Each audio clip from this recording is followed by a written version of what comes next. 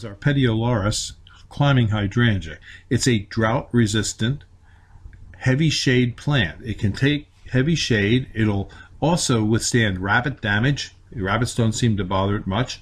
It has good winter interest. It's a showy, fragrant hydrangea with low maintenance and low to medium water needs.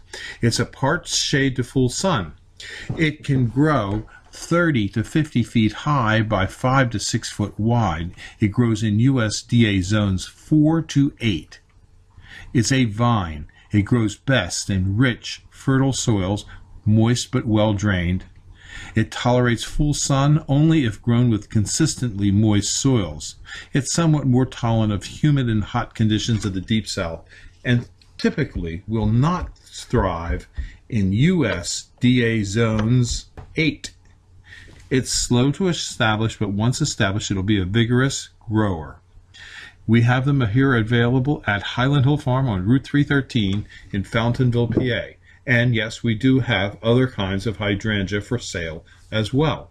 You can call us at 215 651 8329. We're located in Fountainville, Bucks County, Pennsylvania.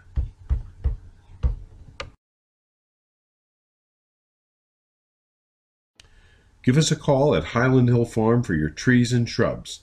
215-651-8329. We ship from Fountainville, PA, Milan, PA, Lenoir, North Carolina, and McMinnville, Tennessee. Thank you.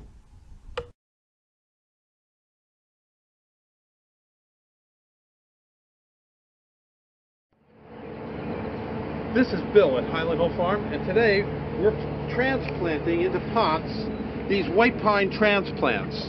White pine transplants are very easy to grow, and they're good for screens and buffers, or as a standalone tree in your landscape. And what we do with these is we plant these directly in the field, and then we also plant a bunch of them in pots. And I'm going to take you over here, and I'm going to show you the pots that we're doing.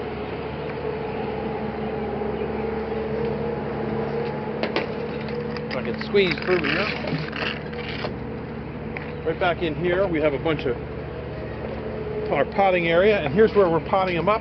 We have a potting soil mix here that we use, and it has some vermiculite and perlite in it.